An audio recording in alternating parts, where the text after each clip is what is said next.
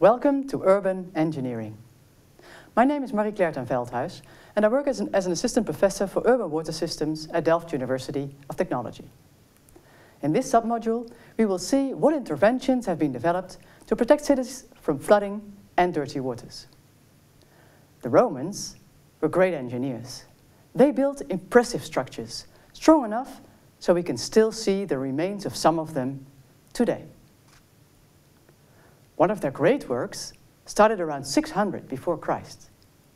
They built a gigantic underground tunnel to collect stormwater from the streets of Rome to protect Roman citizens from stormwater flooding. This so-called Cloaca Maxima, or greatest sewer, is still in place, and its sewer mouth can be seen on the borders of the Tevere River. The design principle of the Cloaca Maxima was simple a channel that naturally received much of the stormwater from the city was gradually covered and transformed into an underground tunnel, a gigantic sewer. The sewer proved to be a convenient solution to drain stormwater from the city's roofs and streets, while life above ground could continue undisturbed.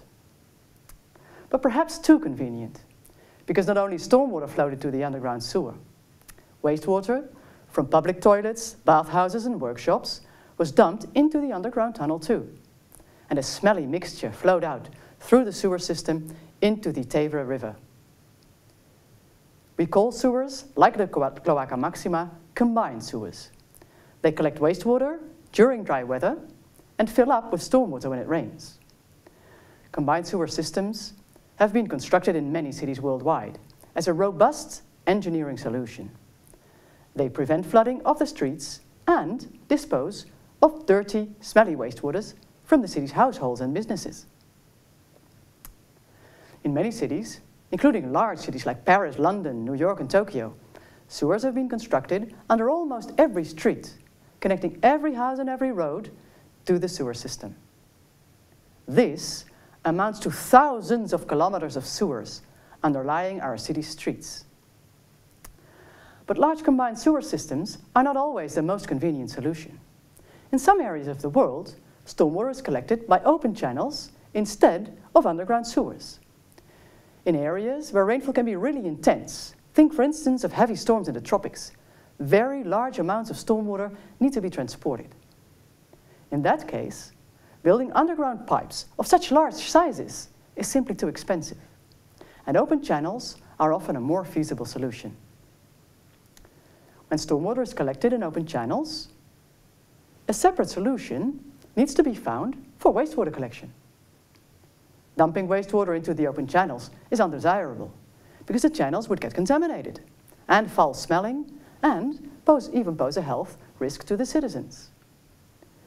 We call such systems separate systems. They collect wastewater in a pipe separate from stormwater. Stormwater can easily be collected in open channels. But channels take up a lot of space.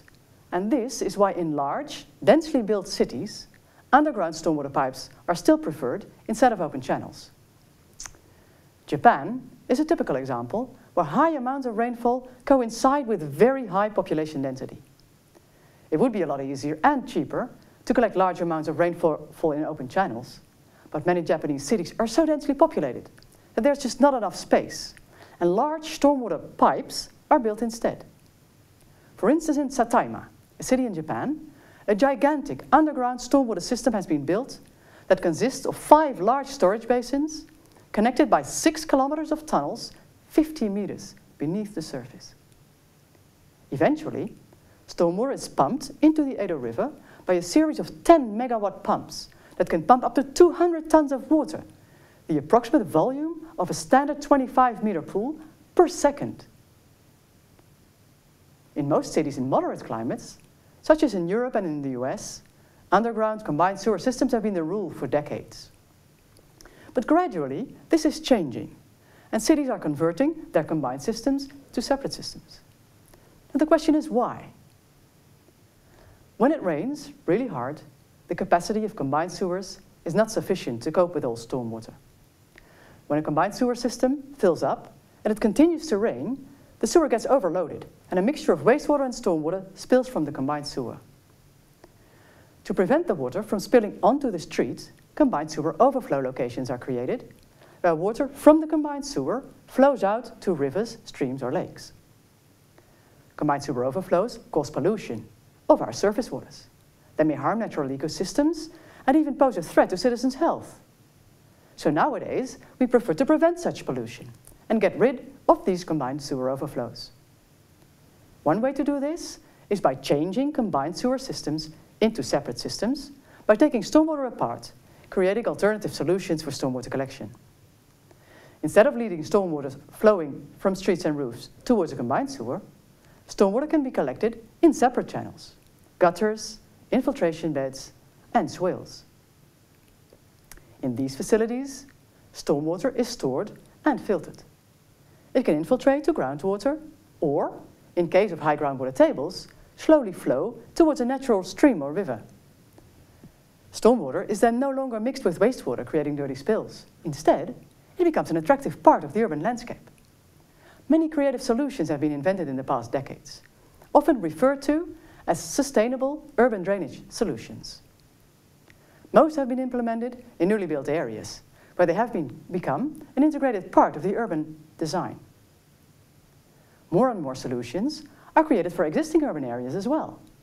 Examples of such solutions are permeable pavements, green roofs, and water squares.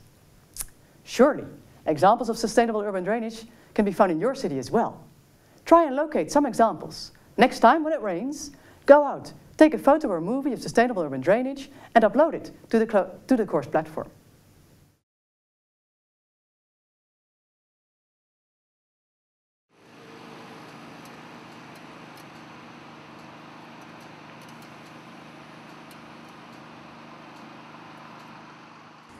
Here we are in Breda city, underneath one of its main roads. We are about 5 meters below street level in the city's oldest sewer. It was constructed in 1863 and still functions today.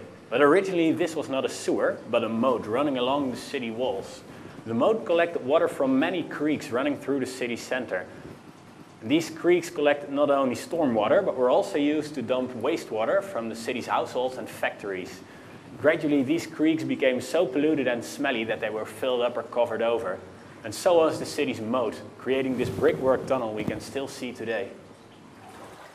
It's a combined sewer system collecting wastewater from the city's households, shops and restaurants, as well as stormwater from the streets, the roofs and the central marketplace.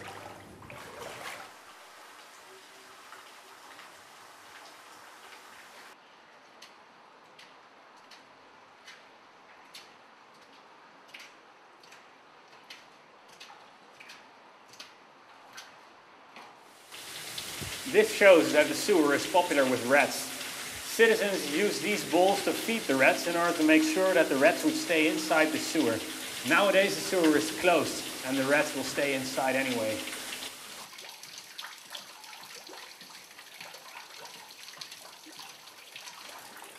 Here we see a really greasy household connection, probably one of the restaurants that throws its kitchen oil into the sewer. This is not supposed to happen. The grease will stick onto pipes and pumps and eventually clog the system.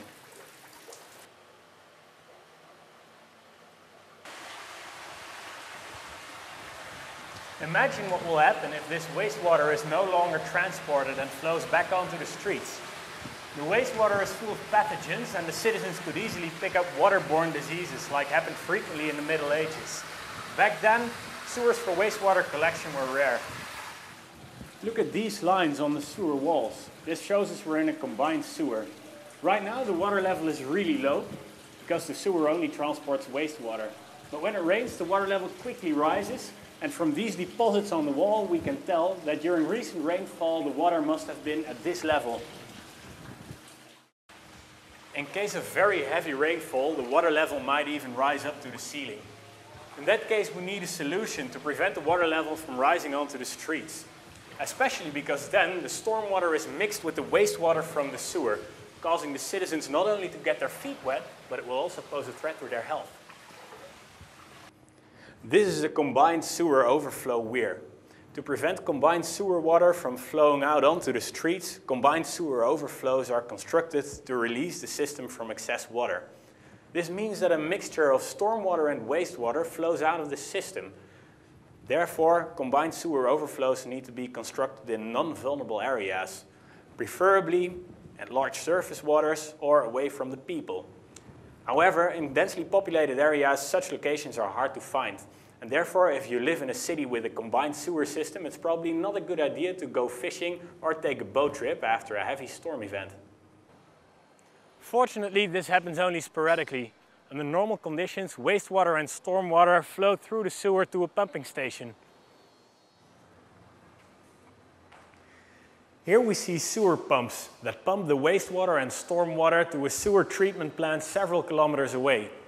The capacity of one pump is enough to transport the wastewater flow. Additional pumps are available when it rains.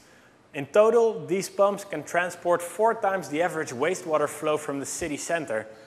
That's about the volume of a swimming pool pumped away every hour. Altogether, 1200 kilometers of sewers in combination with the pumping station and overflow weirs make sure the citizens of Breda can go about their business without being bothered by dirty smells or flooded roads. Thanks to an invisible but indispensable feat of urban engineering.